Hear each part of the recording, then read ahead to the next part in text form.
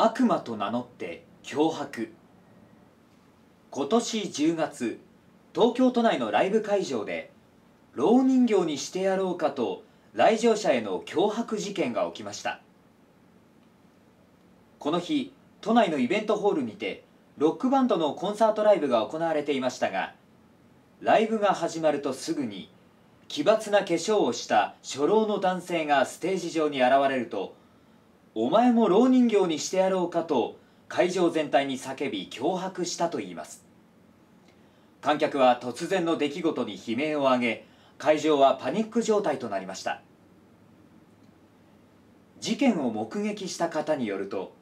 高らかに笑う初老の男性は顔をおおむね白や灰色に塗って素顔を隠し頭髪は金色に染めて尖らせ冠のようなものをかぶり全身には真っ黒な甲冑のようなものを身につけていたということです。警察は抽象的思想犯の可能性を含めて脅迫罪に当たると容疑を固めていますが